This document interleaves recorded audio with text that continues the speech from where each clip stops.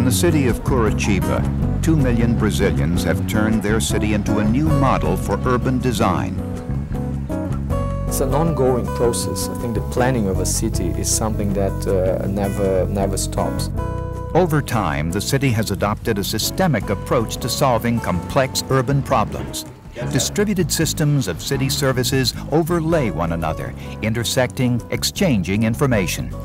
Some people compare it to a computer system in which we have a hub and we have a network flowing people throughout pre-assigned routes. Flood control was a huge problem for the city in the 1970s. Built on a plateau, Curitiba was spending millions of dollars in an attempt to redirect runoff. The city built a network of green belts, lakes, and city parks along natural waterways. And these days, the population, they just go to those parks. They don't even know that that park is actually a gigantic water stabilization facility.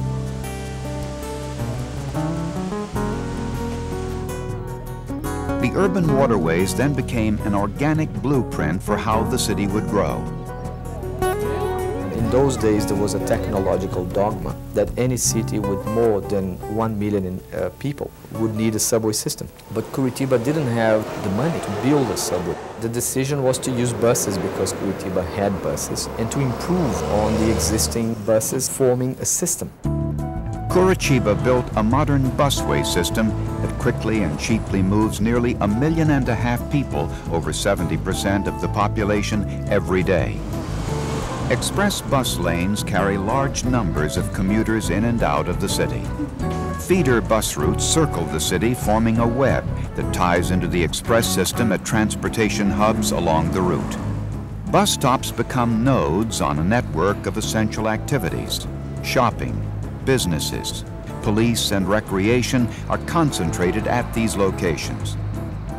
The busway system, like any successful network, is adaptable. When ridership patterns change, bus routes change, an impossibility with a fixed rail subway system. So you have much more flexibility on a bus system like this than with a subway, and it's 10 times cheaper.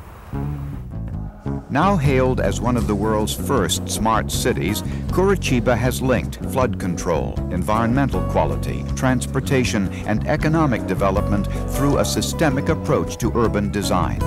The city's web of services is increasingly reliant on the flow of information to ensure quality of life for its citizens.